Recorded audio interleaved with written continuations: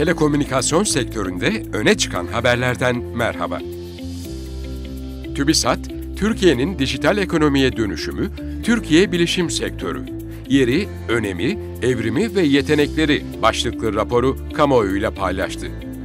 Bilim, Sanayi ve Teknoloji Bakanı Dr. Faruk Özlü ve TÜBİSAT Başkanı Kübra Erman Karaca'nın açılış konuşmasını gerçekleştirdiği toplantıda rapor yazarları Doçent Doktor Ümit İzmen, Doçent Doktor Yeşim Üçdoğruk, Doçent Doktor Yılmaz Kılıçaslan'la birlikte TÜBİSAT Yönetim Kurulu danışmanları Devrim Sönmez ve Serdar Urçar sunum yaptı. Söz konusu raporda acil eyleme geçilmesi gereken politikalardan da bahsedildi. İletişim altyapısının güçlendirilmesi için telekom sektöründe yatırımlara devam edilmesi, yatırımların sürdürülebilirliğinin desteklenmesi, talebin artırılmasının, geniş bandın yaygınlaşmasının vazgeçilmez bir unsuru olmasından hareketle, mobil ve sabit geniş band penetrasyonunu artırmaya yönelik adımlar atılmasının altı çizildi.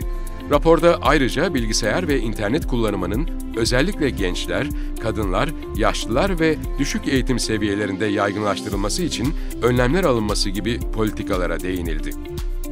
Cepten ilk Alo'nun üzerinden 24 yıl geçti. Türkiye'de 23 Şubat 1994'te gerçekleşen ilk cep telefonu görüşmesinin üzerinden 24 yıl geçti. Türkiye ilk olarak 1991'de araç telefonları aracılığıyla 1G teknolojisiyle tanıştı. Ülkede internet 1993'te, cep telefonuyla görüşme, veri aktarımı ve SMS gönderimine olanak sağlayan 2G teknolojisi ise 1994'te kullanılmaya başlandı. Sesle birlikte datanın da önem kazanmasıyla 2009 itibariyle 3G'ye geçen Türkiye, 1 Nisan 2016'da mobil cihazlarda internet hızını 10 kat artıran 4.5G teknolojisine geçti. İnternete bağlanılan cihazlardaki iletişim hızında büyük artış sağlayacak 5G teknolojisinin ise 2020'de kullanılmaya başlanması amaçlanıyor. Gelecek hafta telekomünikasyon sektöründe öne çıkan haberlerle tekrar görüşmek üzere. Hoşçakalın.